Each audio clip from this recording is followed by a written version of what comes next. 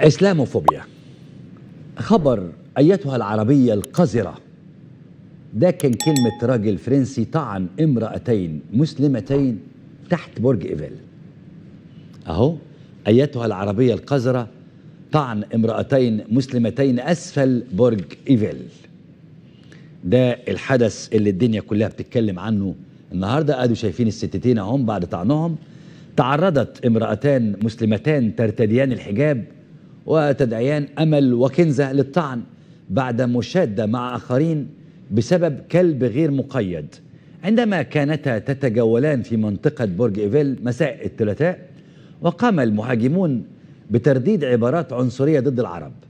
وقد أصدرت الشرطة الفرنسية بيانا أقرت فيه بالواقعة ولكن لم تشر إلى أي دوافع عنصرية. وبحسب مصادر مقربة من أسرة المسلمتين فإنهما كانتا في جولة رفقة أطفال من عائلتهما إحداهما في 19 من العمر والثانية 40 سنة. ثم اقترب كلب مرافق لامرأتين فرنسيتين من الأسرة المسلمة. فاعترضت كل من المسلمتين على ذلك. تطور الحديث إلى تبادل الشتائم. وحسب الشابة المسلمة فإن صاحبة الكلب تلفظت بكلمات عنصرية مثل اغربي عن وجهي أيتها العربية القذرة ثم تطور الأمر سريعا إلى اشتباك وعراك بين الأربعة فقامت إحدى الفرنسيتين بطعن الفتاة المحجبة وضرب الثانية وتم نقلهما إلى المستشفى وحالتهما لم تكن خطرة.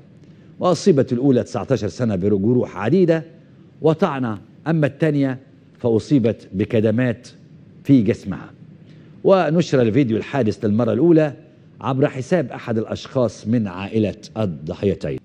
لم نسمع الحقيقة لا بواكي لهم. فين بقى كدابين الزفة اللي مالوا الدنيا صراخ لما حصلت حادثة فرنسا من كام يوم؟ على الأقل ساعتها كان في سبب إن المدرس نشر صورة مسيئة للنبي عليه الصلاة والسلام. لكن دول اتنين معديين بيتفسحوا إيه ذنبهم؟ فين ابن الجزمة مفتي السيسي اللي قال نص المسلمين في أوروبا إرهابيين؟ يا فضيلة ابن الجزمة الاتنين ستات دول أسفكت دمهم على يد إرهابية ست. يا حضرات والله العظيم ماكرون وبمساعدة حكام عرب عاملين حملة قوية جدا على الإسلام لدرجة أنه في آه مناطق آه منطقة ال 13 في فرنسا هتوزع كتاب يحتوي رسوم كاريكاتير دينية وسياسية في المنازل في المدارس. فهيجي الطالب المصري المسلم ايا كان دي دولته هيخش المدرسة في المنطقة دي فيلاقي المنهج فيه كاريكاتير عن النبي محمد عليه الصلاة والسلام أو كاريكاتير عن أحد الصحابة يعني أو كاريكاتير عن القرآن نفسه. تخيلوا بقى لما عيل صغير أو في سن المراهقة يشوف إهانة لدينه في منهج داخل مدرسة برعاية رئيس الدولة ماكرون نفسه.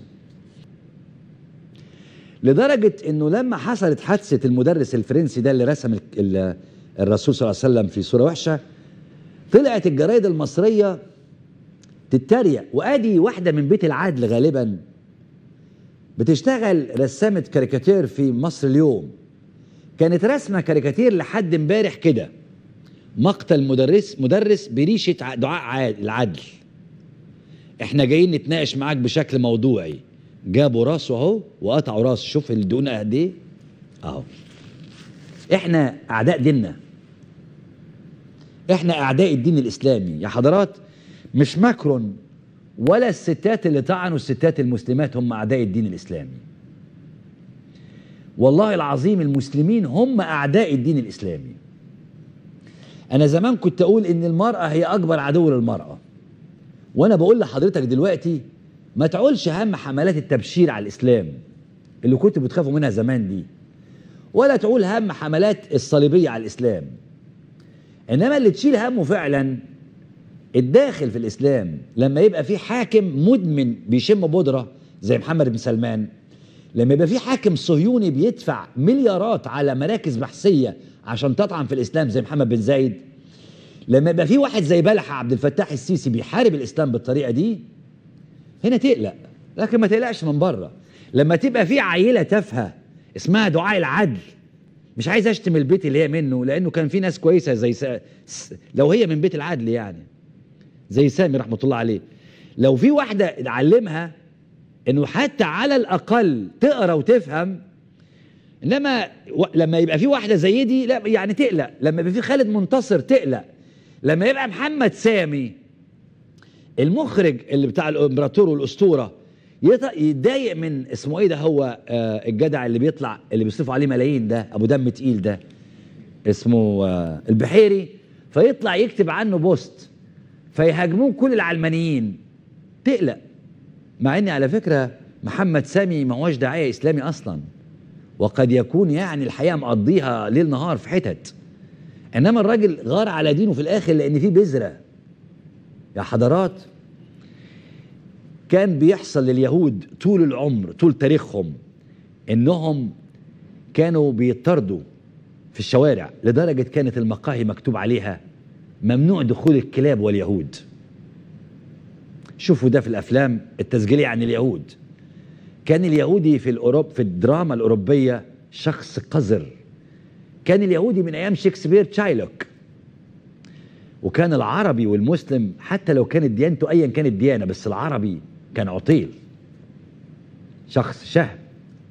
لكن للأسف يا حضرات جاء علينا وقت إنك أنت تخبي دينك الإسلامي لأنه أعداء دينك مسلمين زيك سلطوا عليك الغرب. أهو.